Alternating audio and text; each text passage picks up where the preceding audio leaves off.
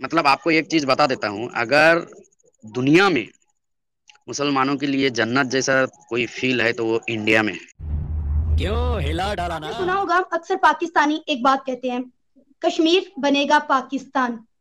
आप क्या कहेंगे इस पर?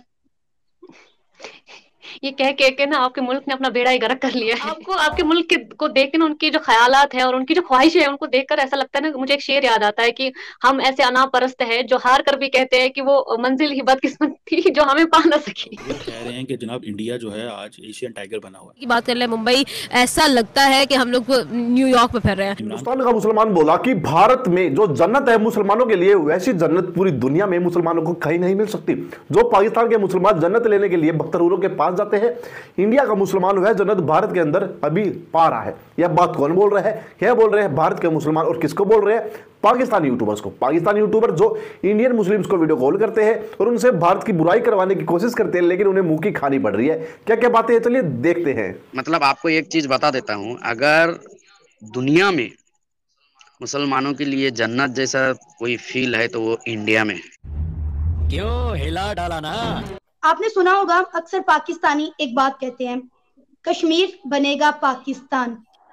आप क्या कहेंगी इस पर? ये कह कह के ना आपके मुल्क ने अपना बेड़ा ही गर्क कर लिया है।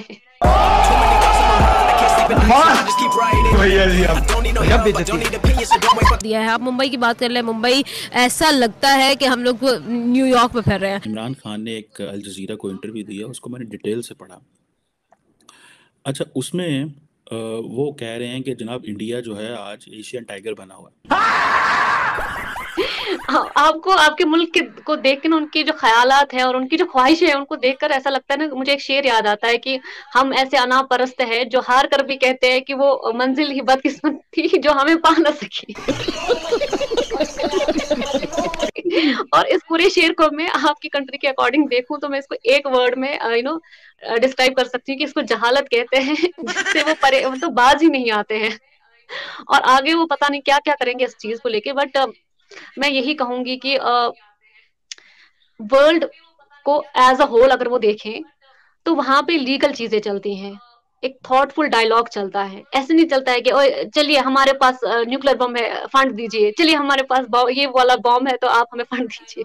ये सब चीज़ें बहुत देर तक नहीं चलने वाली है। आप आके you know you know trigger करते हैं लोगों को कि एक बार दफ़ा आप की बर्दाश्त कोई कर लेगा, दूसरी दफ़ा आपको तो कितने सारे कॉल्स भी ऐसे आए हैं कि अब बस कीजिए कश्मीर का मुद्दा आप ना ही उठाए। तो it is high time for your country to you know you know focus on your development कि, क्या सही रह सकता है आपके लोगों के। Because at the end of the day जो आम लोग हैं आपकी कंट्री के बेचारे वही सफ़र करेंगे। अच्छा अनिका जिस आप न्यूक्लियर बॉम्ब की बात कर रहे हैं उसको तो आईएमएफ ने हमें बोल दिया है कि अगर आपको मजीद कर्जा चाहिए तो आपको उसे कैंसिल करना होगा। और यहाँ तक कि हमारे हुक्मरान मजीद कर्जा लेने के लिए उसे किसी कंट्री को बेचने को भी तैयार हैं और शायद ये सऊदिया का नाम आ रहा था कि हम अपना न्यूक्लियर बॉम्ब जो है वो शायद सऊदिया को बेचने जा रहे हैं, जिसके ऊपर हम इतना तिड़ते हैं, वही बेचारा दाव पे लग गया। यहाँ मुसलमानों का कोई पाबंदी नहीं है। या आप लोग जैसे मैं तो दो चार इंटरव्यू देखा, काफ़ी दिनों से देख रहा था तो मैं सोचा किसी के साथ कनेक्ट होकर मैं ये जवाब दूँगा कि आप लोग अपना सोचिए, अपना तरक्की कीजिए, अपना कंट्री को डेवलप कीजिए। हम लोग यहाँ इंडिया में इंडिया इंडिया में मतलब इंडिया हमारा ही देश है। आप लोग जिन्ना के कहने पे गए थे ना पाकिस्तान, आपके बाप दादाओं ने ये सब गए थे। तो ये हमारा आप लोग गए थे एड के सहारे चल रहे थे आप लोग।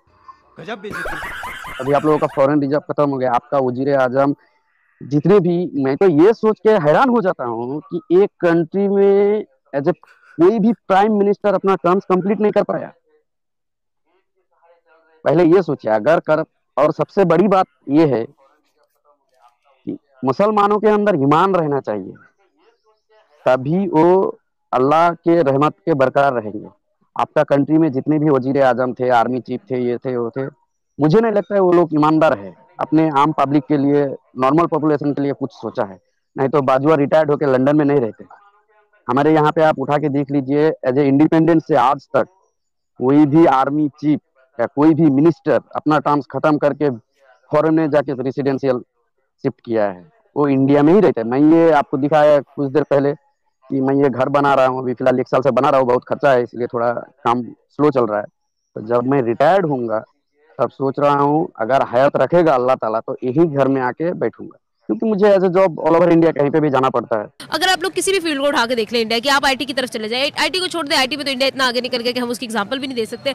आप मेडिकल फ़ील्ड को देख लें India is the pharmacy of the world 90 percent of the medicine are imported from India मतलब पूरी दुनिया में 90 परसेंट मेडिसिन जो है वो इंडिया की जा रही है।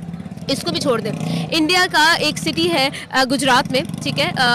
नाम मेरे माइंड से Surat sorry yes Surat city है इंडिया का जो कि पूरी दुनिया के अंदर डायमंड सिटी के नाम से जाना जाता है। Diamonds are mined in Surat. उसके उसको भी छोड़ दें। माइंड किए जाते हैं माइंड पॉलिश किए जाते हैं। डायमंड किए जाते हैं? तो दुनिया में गोल्ड तो हम सुनते हैं लेकिन जिसके पास डायमंड आ गया तो क्या दुनिया ये- इसको भी छोड़ दें आप।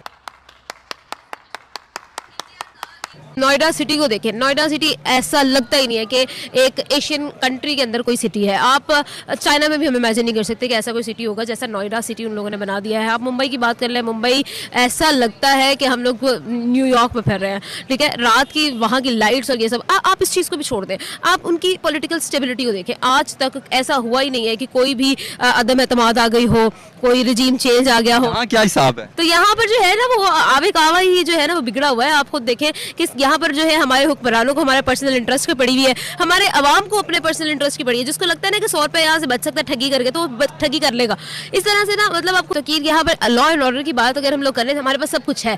हम ऑन द एक बात और भी करते हैं हमारे यहाँ अगर कंपैरिजन हमेशा करते हैं हम पीएम इमरान खान जो हमारे एक्स प्राइम मिनिस्टर थे उनका नरेंद्र मोदी का नरेंद्र मोदी से वो बेहतर परफॉर्म कर सकते हैं। हमारे वहाँ पर इनकी जो मकबूलियत लीडरशिप की पाकिस्तान में नो डाउट इमरान खान की बहुत यहाँ पर एक और सिचुएशन है। इमरान खान साहब जो है ना वो इंटरनेशनल एक्सेप्टेंस जो है वो रखते हैं। लेकिन वो ए पॉलिटिशियन नहीं रखते। अच्छा अनिका अब मुझे बताएँ कि अगर हम कंपैरिजन करें आज़ाद कश्मीर का और जम्मू कश्मीर का तो आप क्या फ़र्क देखते हैं दोनों कश्मीर में? कंपैरिजन करने लायक तो कुछ है ही नहीं। मैं क्या कंपैरिजन करूँ? एजुकेशन के हवाले से कंपैरिजन करूँ? बेचारों के पास स्कूल्स इतने नहीं है कि प्रॉपर एजुकेशन ले सके। या शायद मेरे पास गलत इन्फॉर्मेशन हो, आप मुझे ज़्यादा उस पर एनलाइटन कर सकती हैं बट मैं क्या कर सकती हूँ कंपेयर इन दोनों के, कि हमारे कश्मीर में अब सात आठ मेडिकल कॉलेजेस हैं और बहुत बड़े जहाँ पे एमबीबीएस स्टूडेंट्स और डॉक्टर्स बन के आते हैं, वो भी गवर्नमेंट कॉलेजेस में। एजुकेशन एनुअल फ़ी बारह हज़ार रुपये होती है। जबकि अगर आप बांग्लादेश या बाकी कंट्रीज़ में जाएँगे मेडिकल की डिग्री लेने के लिए आपको चालीस लाख पे करने पड़ते हैं। वहीं यहाँ के गवर्नमेंट कॉलेजेस में आपको एनुअली बारह हज़ार रुपए बनने हैं या छह हज़ार रुपए बनने हैं। तो देखा भाई वीडियो में कैसे हिंदुस्तान के मुसलमानों ने पाकिस्तानी यूट्यूबर्स को भाई मुँह पे थप्पड़ मार के मतलब कि पेल डाला है भाई। जो पाकिस्तान के यूट्यूबर भाई इंडिया के लोगों से पूछते हैं इंडिया के मुसलमानों से पूछते हैं कि यार बताइए ना, आप कितने परेशान हो? जो रड़क थी, जो पाकिस्तान सदियों से बोलता आता था कि पाकिस्तान जो इंडिया के मुसलमान है, वो परेशान है, दुखी है।